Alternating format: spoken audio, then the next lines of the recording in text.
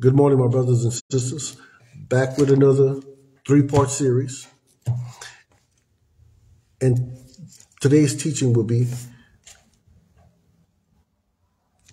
the difference between the three heavens the first heaven, where Christ dwells, the second heaven, where Antichrist dwells, the false Christ, and the third heaven, which is the flesh. I call it the physical dimension or the flesh. Um, and that's where the physical male and female is, the natural male and female. All right, let us get right into the teachings. John 4 24. God is the Spirit, and they that walk with him must walk with him in spirit and in truth. It's, it's always important to begin a teaching like that, to get you in that spiritual mindset. God is the Spirit, and they that walk with him or, or, or worship him. Your walk, your worship, and your work, they're all one and the same. They that worship him must worship him in spirit and in truth. Now, worship is eternal. Worship is a state of living. It's living in the fruit of the spirit. We, we, we get up in spiritual worship. This flesh gets up. Worship takes this flesh up in worship. It lays it down at night in worship. So we we worship 24/7 it's it's a state of living. It's an eternal state of living. 1 John 1 5 God is light and in him is no darkness at all. So we must walk in that spiritual light. We must walk in that eternal spiritual light. All right. Let's go to Ephesians 1 3 Ephesians 1 3 says that Blessed be the God and Father of our Lord Jesus Christ, who had blessed us with all spiritual blessings in the heavenly places. Ephesians 1 3 is the first heaven. This is where the true Christ is. This is where the spiritual blessings are in the first heaven. Now, the first heaven was the only heaven when we were all in the spirit. Before we were put, put in the flesh, it was the first heaven. But when Satan and his angels rebelled against the Lord, when Satan and some of the angels rebelled against the Lord, sin cannot dwell in that first heaven. So he booted them out. He kicked them out and put them beneath the first heaven in which is called the second heaven, where Satan has already been judged to death under the law. And God made him the law of sin and death. Satan being sin, being the author of sin, he judged him to death. This is why he is the law of sin and death. When the Lord put him under the law of commandments, he judged him to death there. All right. He judged him to death there. So there became a second heaven. That's the second heaven. All right. But this is the first heaven where the spiritual blessings are in Christ Jesus, who is the mind of God. Christ is the mind of God. He is the light of God. All right. There is no light outside of him. Let us go to Ephesians 6:12.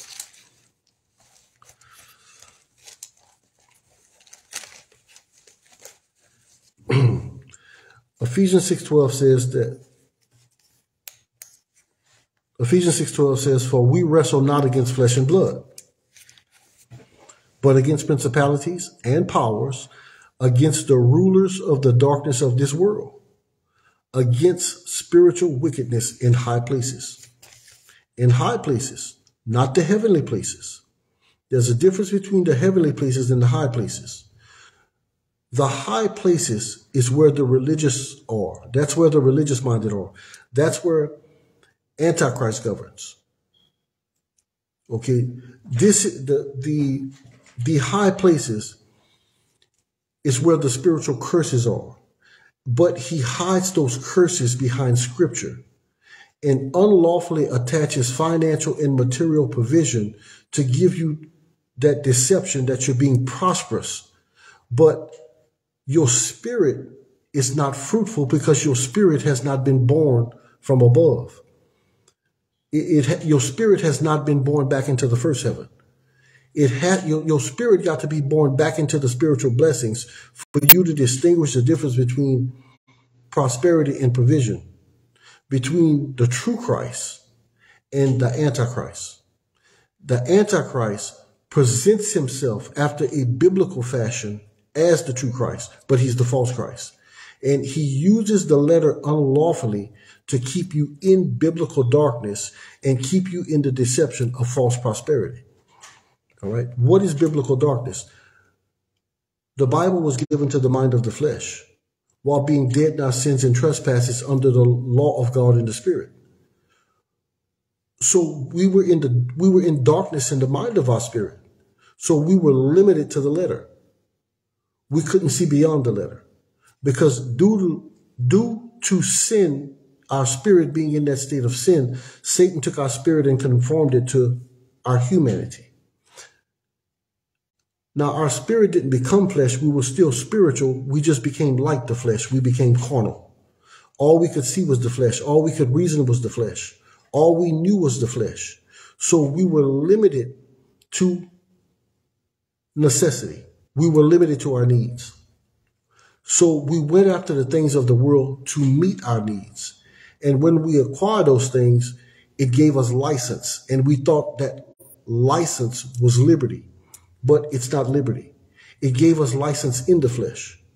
But true prosperity, it gives you liberty from the flesh. There's a difference between uh, liberty from the flesh and license in the flesh. You can have license under the law, but you can only have liberty from the law.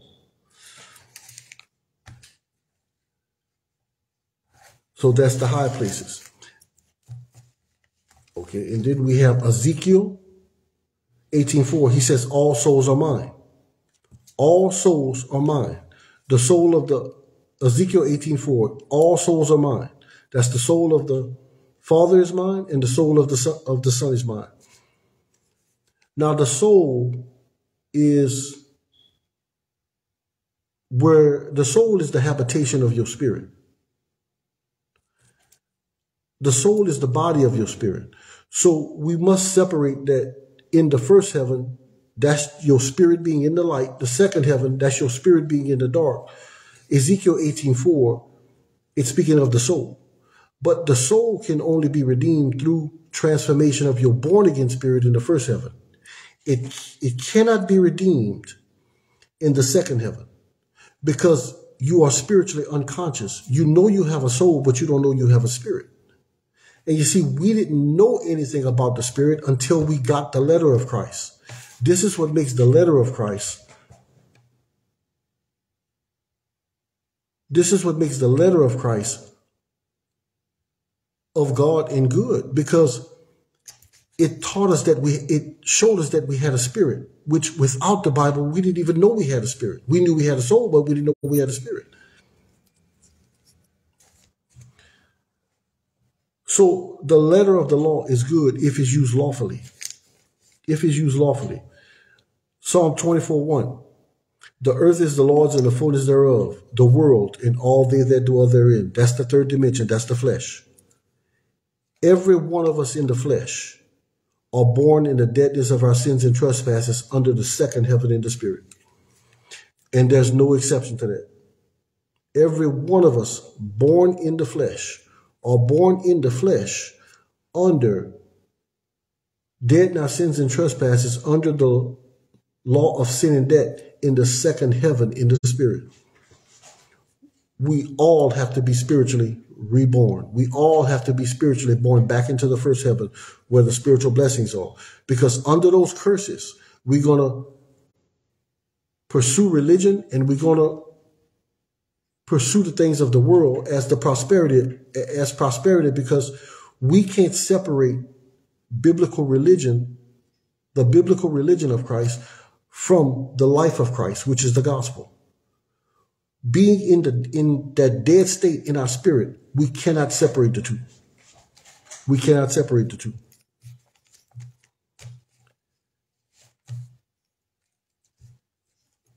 Ephesians 2, 8 9, and 10. 8.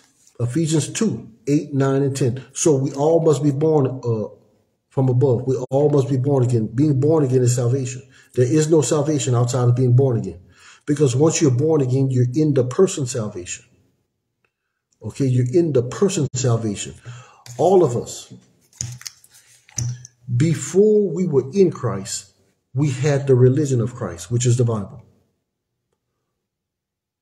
Everybody that was a true Christian, that's now a true Christian in Christ, which there are few, was a false Christian according to the letter before they were born of Christ.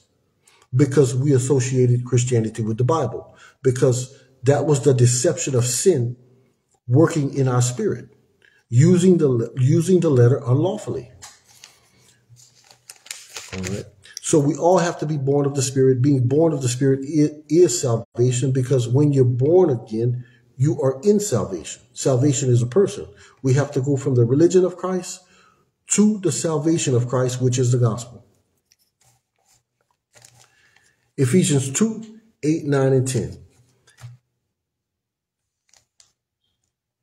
8 says that we are saved by grace through faith, and that not of yourselves. That's pertaining to the flesh. Remember what faith was in the flesh. It was biblical. We are saved by grace through faith, and that not of yourselves. It is the gift of God. We were not saved by biblical faith in the flesh. We were saved by the gift of God in the Spirit, which is the Spirit of God.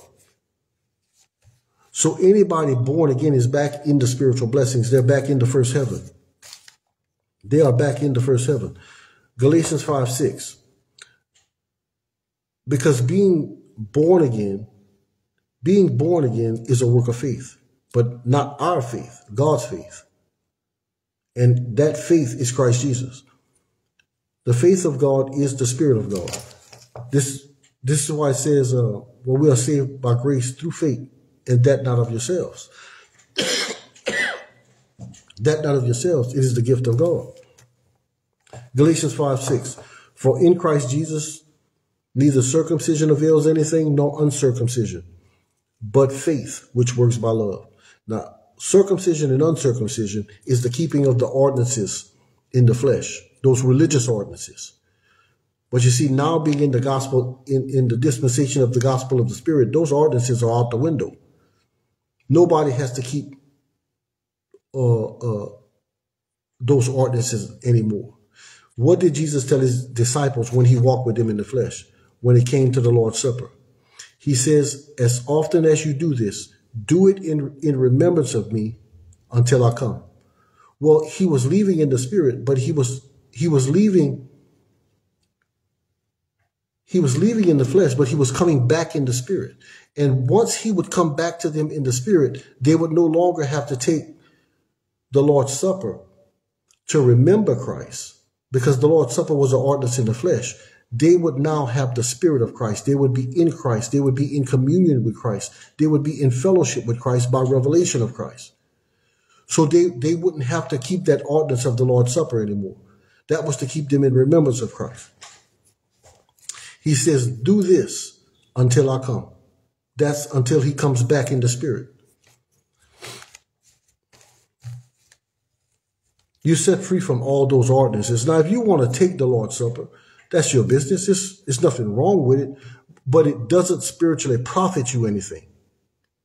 Those ordinances, those ordinances in the flesh, they don't profit you in the spirit. They don't bring you closer to God in the spirit.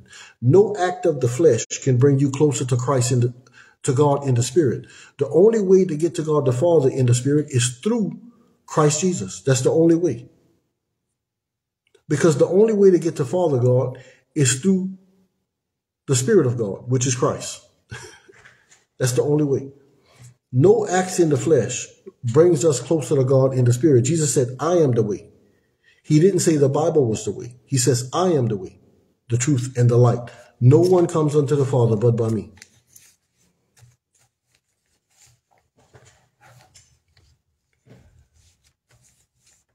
So circumcision doesn't Circumcision profits nothing, neither uncircumcision, neither uncircumcision, but faith, which works by love. So being born again is a work of faith. But faith works by love. That means it's also a work of love. Okay? It's a work of love. Romans 12, 3. It says, let no one think more highly of themselves than they ought to think, because it says we have all been given the measure of faith. The measure of faith. Now, the me with the measure of faith comes the measure of love. With the measure of the faith of God comes the measure of the love of God, which is the Spirit of God, which is the Spirit of Christ. Galatians uh, 9. Not of works, lest any of us should boast. That's works of the flesh, not of works of the flesh, biblical works of the flesh, should any of us boast in the spirit. All right. Galatians 5.25 says, uh, let, wait, 9, oh, 1 Corinthians 1, 29 through 31. It's, it's talking about boasting in works of the flesh. This is what Ephesians 2, 9 is talking about. Not of works, at least any of us should boast, not of works of the flesh. Because salvation did not come by work of the by faith in the flesh. It came by the faith of Christ in the spirit. 1 Corinthians 1, 29 to 31. 29. That no flesh can glory in his presence. No flesh can glory in his presence because the Lord does not accept works of the flesh.